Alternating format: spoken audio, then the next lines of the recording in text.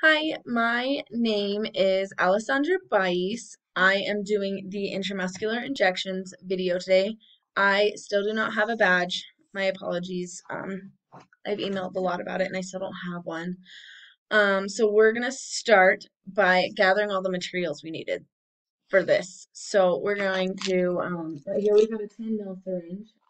That's what we got in the kit, so it's going to use since we are going to be giving more than 1 ml of medication.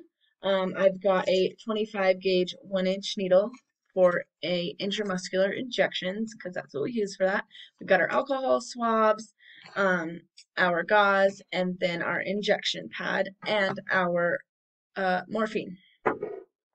So we are going to verify our six rights of medication administration, which are going to be time, right time, right dose, right route, right patient, right medication, and right documentation. Um, we are going to calculate our dosages. So it says that this um, particular vial is 4 milligrams per milliliter of morphine, and we the order in the MAR is for 6 milligrams. So we're going to calculate that, and it's going to be 1.5 milliliters of medication for 6 grams or 6 milligrams of morphine. My apologies.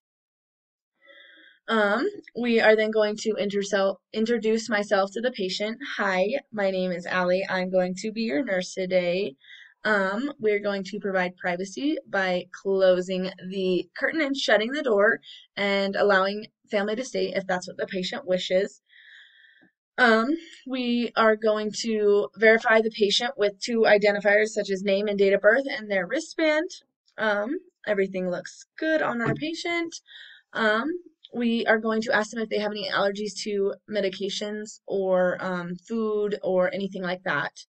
Um, they say no, so that is good. Um, we are going to let them know that they are due for their morphine, and that's why we are here, and that they are going to be getting um, six milligrams of morphine.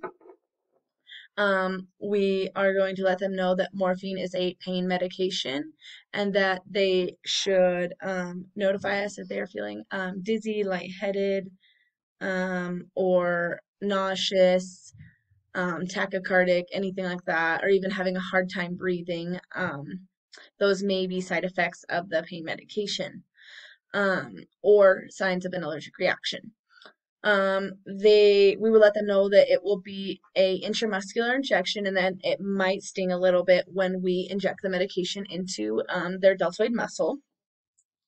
Um, we are going to let them ask any questions after we are done um, informing them of what the medication is. Um, they don't have any questions, so that is good. I'm then going to um, perform hand hygiene at, by washing or sanitizing my hands. I'm going to grab some clean gloves. And I'm going to draw up my medication. I'm using aseptic technique, so I'm going to make sure that um, I try to avoid touching the barrel here and I do not touch the end and that I do not contaminate the needle or the um, end of the plunger. So I've opened the top of that. see a little better. So have got the top of this open and we're going, we can pull this kind of out right there and then we're going to open the top of this. We're going to hold that without touching. And then we're going to connect our plunger to the needle by inserting it into there and twisting it so it's tight. Um, we can then just leave it in there if we like. Um, we are then going to, um, since we need one and a half milliliters, we are then going to take their alcohol swab, one of them, and we're going to clean the top of our vial. And then we are going to, um, since we need one and a half milliliters, we're going to, with the cap still on this, we are going to um, fill this syringe with one and a half um,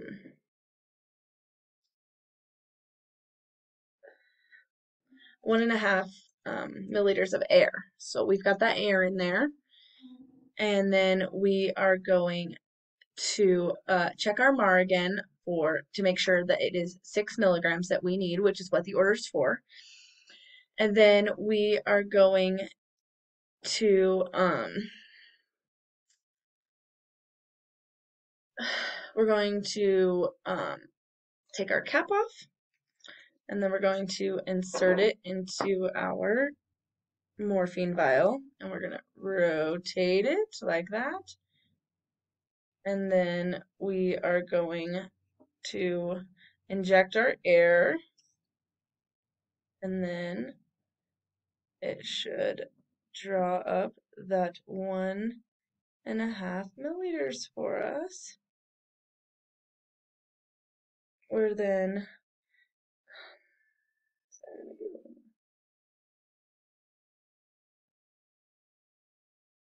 All right, we then got our one and a half milliliters and we are going to um, kind of flick it to remove some air bubbles that may be in there and check that we still have one and a half milliliters, which is the six milligrams of morphine. We are going to um, select the appropriate site. So we've got our injection pad here. Um, and we um,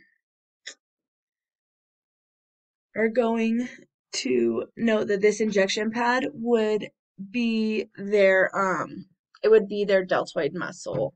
So we can which is right here is normally where we do our intramuscular injections. We can also do them in the ventrogluteal site.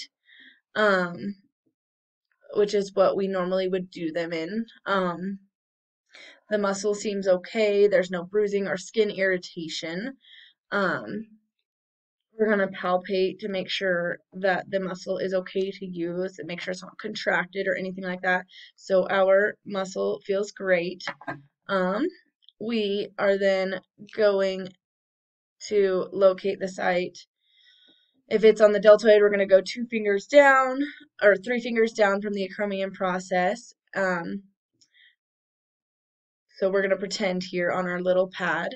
We're then going to clean our site with a alcohol swab. And we're going to do it in a circle about two inches wide. And then we're going to let that air dry and not touch the site once it has been cleaned. Um, we're then going to take our syringe and we are going to kind of hold it like a dart. Um, and then we are going to um, pull the skin with our non-dominant hand using the Z-track method, kind of um, pull it to the side if um, on the deltoid area.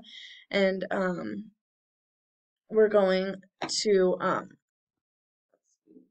do this. So here's our injection pad. We're then going to um, do our pull our hand to the side and then we are going to go in at a 90 degree angle into the muscle and um, inject that medication and then um,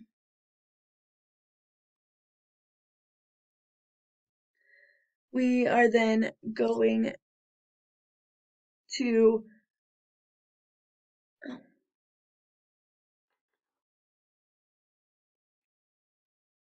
we're then going to wait 10 seconds and then withdraw the needle and release the skin and place our gauze pad gently over. Um, we are then going to apply gentle pressure and not massage the site. Um, we're not going to recap the needle. We are going to discard of it in a sharps container. Um, I'm then going to um, place a band-aid on the patient if they wish. I'm going to remove my gloves. I'm then going to perform hand hygiene and document that we have given the medication.